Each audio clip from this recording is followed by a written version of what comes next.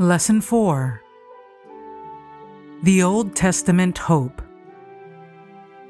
Sabbath afternoon, October 15.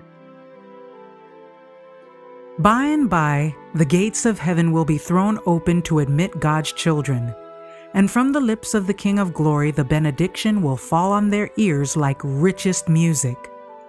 Come, ye blessed of my Father, inherit the kingdom prepared for you from the foundation of the world.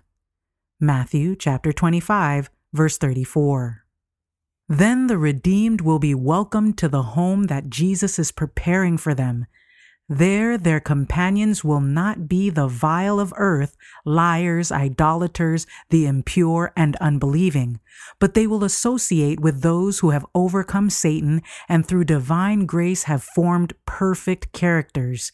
Every sinful tendency, every imperfection that afflicts them here has been removed by the blood of Christ, and the excellence and brightness of his glory, far exceeding the brightness of the sun, is imparted to them.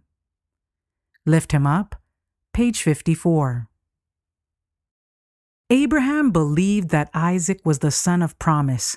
He also believed that God meant just what he said when he bid him to go offer him as a burnt offering. He staggered not at the promise of God, but believed that God, who had in his providence given Sarah a son in her old age, and who had required him to take that son's life, could also give life again and bring up Isaac from the dead.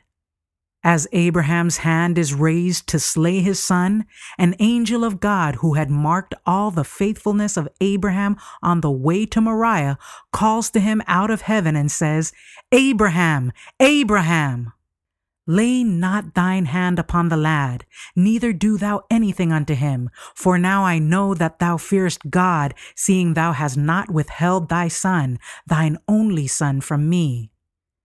Spiritual Gifts, Volume 3, pages 106 and 107. How precious to those who are losing their loved of this world are their faith and hope in the promises of God, which open before them the future immortal life. Their hopes may fasten upon unseen realities of the future world. Christ has risen from the dead, the first fruits. Hope and faith strengthen the soul to pass through the dark shadows of the tomb in full faith of coming forth to immortal life in the morning of the resurrection. The paradise of God, the home of the blessed. There all tears shall be wiped from off all faces. When Christ shall come the second time to be admired in all them that believe, 2 Thessalonians chapter 1 verse 10. Death shall be swallowed up in victory, and there shall be no more sickness, no more sorrow, no more death. The life giver will call up his purchased possession in the first resurrection, and until that triumphant hour when the last trump shall sound and the vast army shall come forth to eternal victory, every sleeping saint will be kept in safety and will be guarded as a precious jewel who is known to God by name. That I may know him, page 362.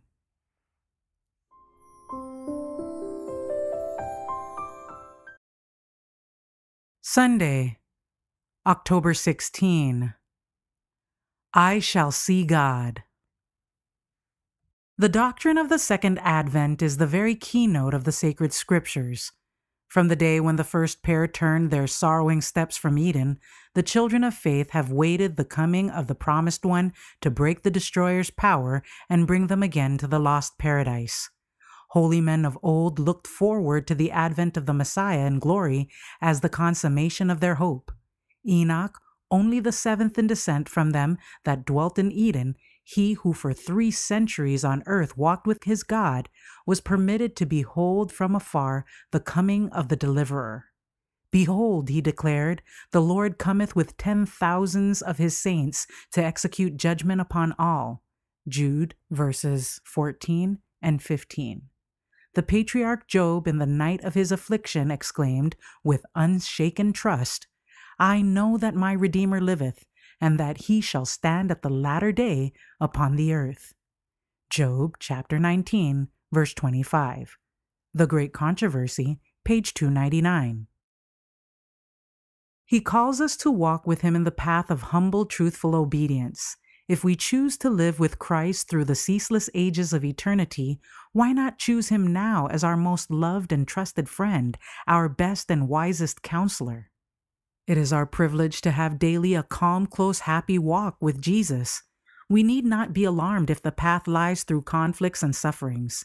We may have the peace which passeth understanding, but it will cost us battles with the powers of darkness, struggles severe against selfishness and inbred sin. The victories gained daily through persevering, untiring effort in well doing will be precious through Christ who has loved us, who gave himself for us, that he might redeem us from all iniquity and purify unto himself a peculiar people, zealous of good works. Lift Him Up, page 98. All heaven has the deepest interest in our welfare, that Satan shall not control us and conform us to his character. For behold, the day cometh that shall burn as an oven, and all the proud, yea, and all that do wickedly, shall be stubble. And the day that cometh shall burn them up, saith the Lord of hosts, that it shall leave them neither root nor branch. But unto you that fear my name shall the Sun of Righteousness arise with healing in his wings, and ye shall go forth and grow up as calves of the stall. Malachi chapter 4, verses 1 and 2. This Day with God, page 123.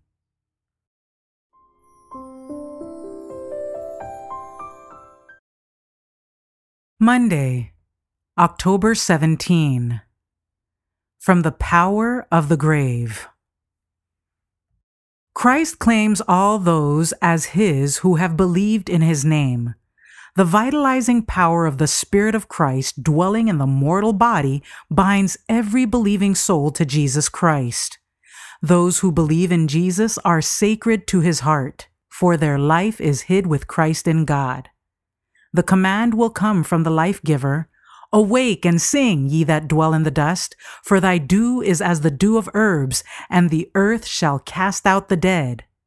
Isaiah chapter 26, verse 19. By the power of the Savior that dwelt in them while living, and because they were partakers of the divine nature, they are brought forth from the dead. Selected Messages, Book 2, page 271. Those who closely connect with God may not be prosperous in the things of this life. They may often be sorely tried and afflicted. Joseph was maligned and persecuted because he preserved his virtue and integrity. David, that chosen messenger of God, was hunted like a beast of prey by his wicked enemies. Daniel was cast into a den of lions because he was true and unyielding in his allegiance to God. Job was deprived of his worldly possessions and so afflicted in body that he was abhorred by his relatives and friends, yet he preserved his integrity and faithfulness to God. These examples of human steadfastness in the might of divine power are a witness to the world of the faithfulness of God's promises, of his abiding presence and sustaining grace. Testimonies for the Church, Volume 4, page 525.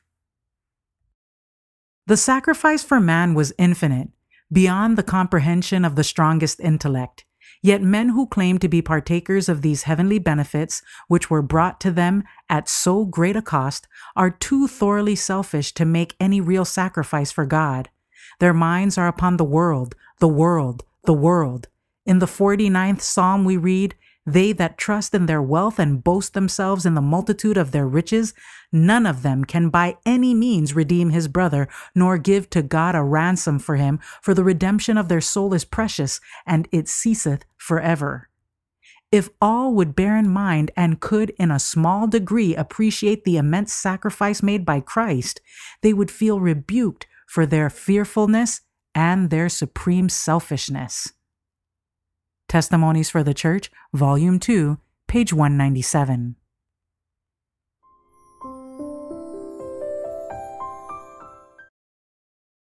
Tuesday, October 18. From the depths of the earth. David entreated the Lord not to forsake him in old age. And why did he thus pray?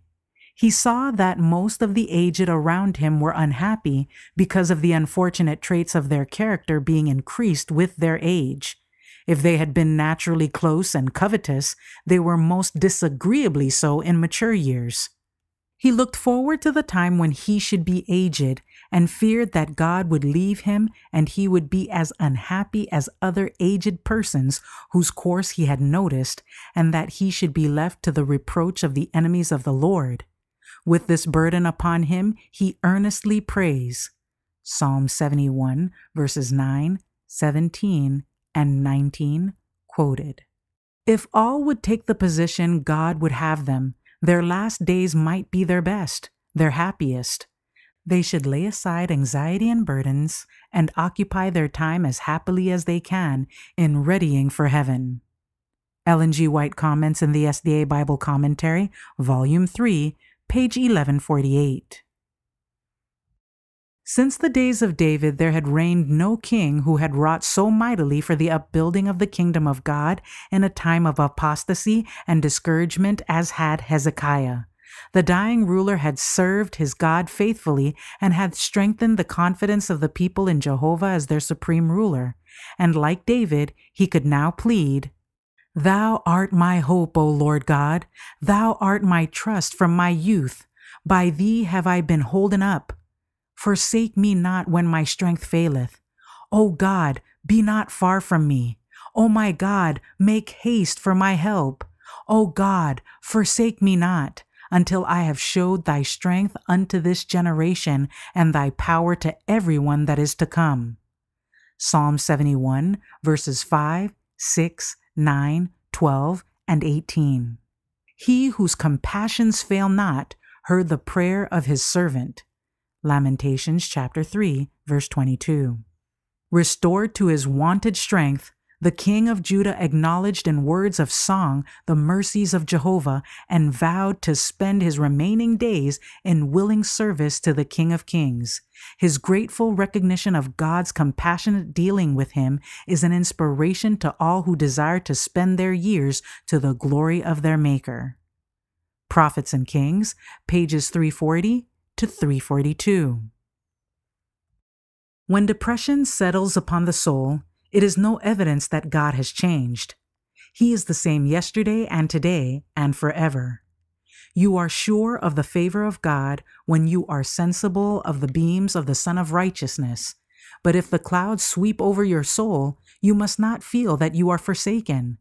Treasure up the lessons that His love provides. Let your faith be like Job's, that you may declare, Though He slay me, yet will I trust Him. Lay hold on the promises of your heavenly Father, and remember his former dealing with you and with his servants, for all things work together for good to them that love God. Mind, Character, and Personality, Volume 2, page 496.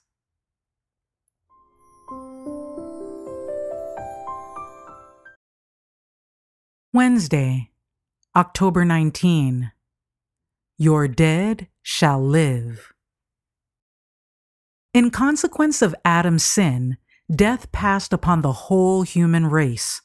All alike go down into the grave, and through the provisions of the plan of salvation, all are to be brought forth from their graves.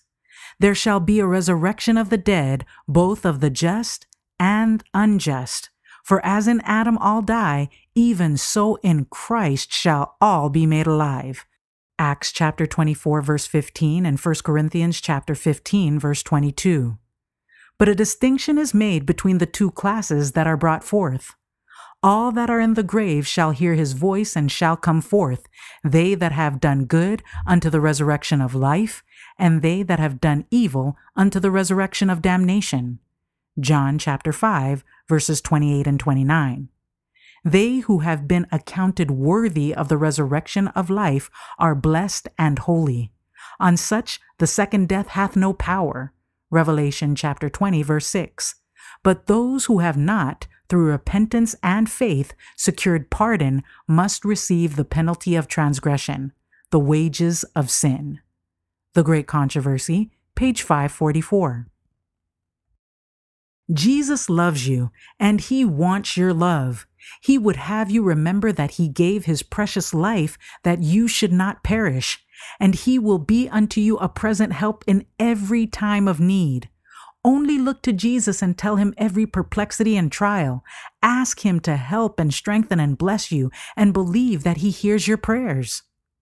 All heaven is looking upon you with deep interest. One soul for whom Christ has died is worth more than the whole world. I wish every young man and woman could appreciate the value of the human soul. If they would give themselves to Jesus just as they are, though sinful and polluted, He will accept them the very moment that they give themselves to Him, and Jesus will put His Spirit in the humble seeker's heart. Whosoever cometh unto Him, He will in no wise cast out. You may love Jesus with your whole heart, and He will never disappoint that love and confidence. Our High Calling, page 98. The great military commander conquers nations and shakes the armies of half the world, but he dies of disappointment and in exile. The philosopher who ranges through the universe, everywhere tracing the manifestations of God's power and delighting in their harmony, often fails to behold in these marvelous wonders the hand that formed them all. Man that is in honor and understandeth not is like the beasts that perish. No hope of glorious immortality lights up the future of the enemies of God. But those heroes of faith have the promise of an inheritance of greater value than any earthly riches, an inheritance that will satisfy the longings of the soul. They may be unknown and unacknowledged of the world, but they are enrolled as citizens in the record books of heaven. Testimonies for the Church, Volume 4, page 526.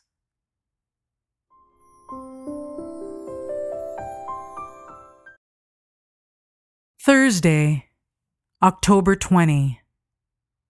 Those who sleep in the dust.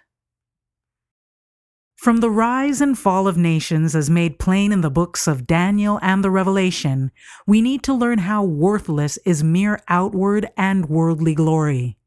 Babylon, with all its power and magnificence, how completely has it passed away!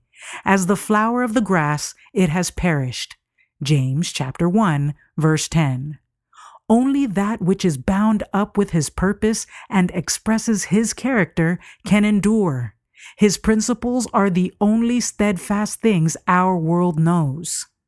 A careful study of the working out of God's purpose in the history of nations and in the revelation of things to come will help us to estimate at their value things seen and things unseen and to learn what is the true aim of life.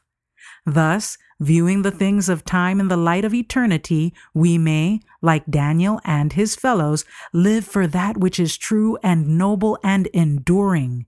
And learning in this life the principles of the kingdom of our Lord and Savior, that blessed kingdom which is to endure forever and ever, we may be prepared at his coming to enter with him into its possession. Prophets and Kings, page 548.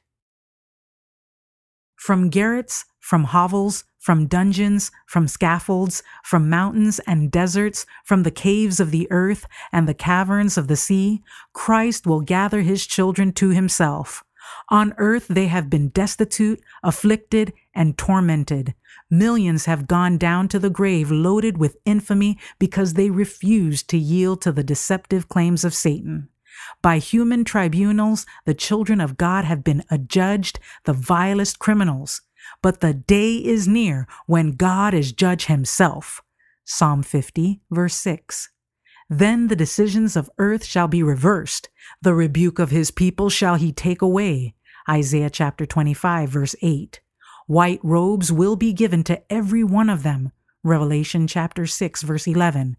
And they shall call them the holy people, the redeemed of the Lord. Isaiah chapter 62, verse 12. Christ's Object Lessons, page 179. Christ would have everyone possess in abundance the grace of heaven. He desires that his joy may be in you and that your joy may be full. The hand of God is upon all those for good who seek him but his power and his wrath are against those who forsake him and who trust in the help and friendship of the world. The children of God will know who is their helper. They will know in whom they can trust implicitly, and with Christ's help, they may, without presumption, have a holy confidence. Yes, his servants may safely trust in him alone without fear, looking unto Jesus, pressing on in obedience to his requirements, leaving everything that is joined to the world, whether the world opposes or favors. Their success comes from God and they will not fail because they have not the wealth and influence of wicked men. This Day with God, page 354.